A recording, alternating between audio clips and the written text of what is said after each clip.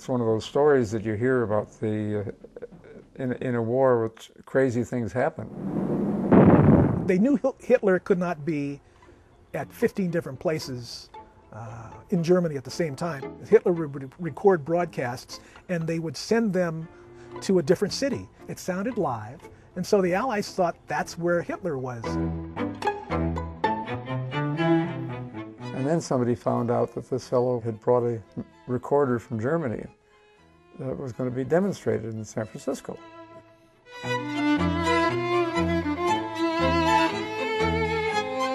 The world needed something, and this was it.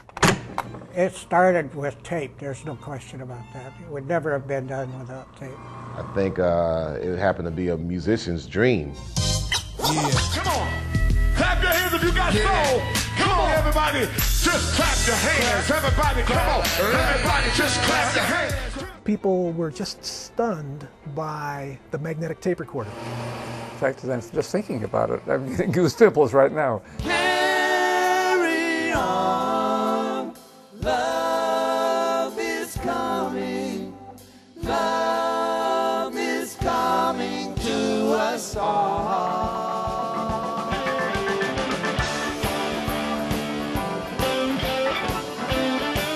I think it really enabled rock and roll. I think tape really built rock and roll.